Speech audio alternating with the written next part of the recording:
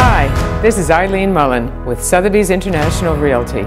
Impeccably maintained, in pristine condition, lush gardens, beautiful pool along the shores of Gardiner's Bay, and steps from a private bay beach. Come, let's have a look.